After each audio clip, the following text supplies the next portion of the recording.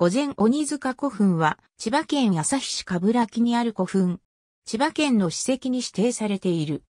かつて、九十九里平野の北東部には、椿の海と呼ばれる湖があり、椿の海を望む大地上に前方後円墳7基、円墳9基からなる、冠木古墳群がある。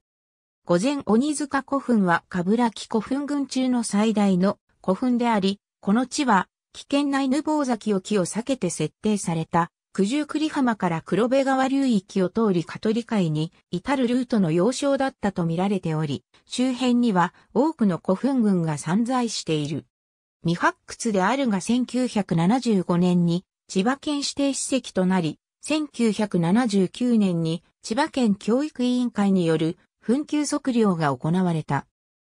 本古墳は前方を南西に向けた前方後円墳で工作により墳丘が削られ、裾が広げられており、現状の墳丘裾の計測では、墳丘長約100メートル、後円部径60メートル、前方部幅55メートルほどであるが、本来の墳丘規模は全長90メートル、後円部径47メートル、前方部長46メートル、前方部幅50メートル、くびれ部幅29メートルほどで、後円部の高さ8.5メートル、前方部の高さ7.5メートル前後であったものと見られている。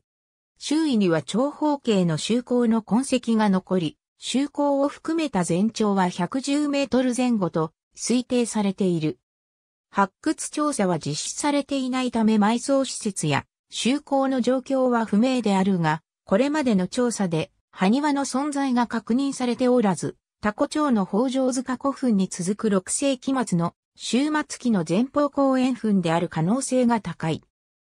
なお、冠木古墳群中の前方後円墳では、墳丘全長58メートルの滝の大古墳が、東古墳に次ぐ規模で、長熊、宝塚、大見は、原畑、大塚の各前方後円墳はいずれも墳丘長30から40メートルの小規模なものであるが、このうち、宝塚、大見は、大塚の三古墳では、埴輪の存在が確認されており、6世紀後半の加海上国の中核をなす古墳群と考えられている。ありがとうございます。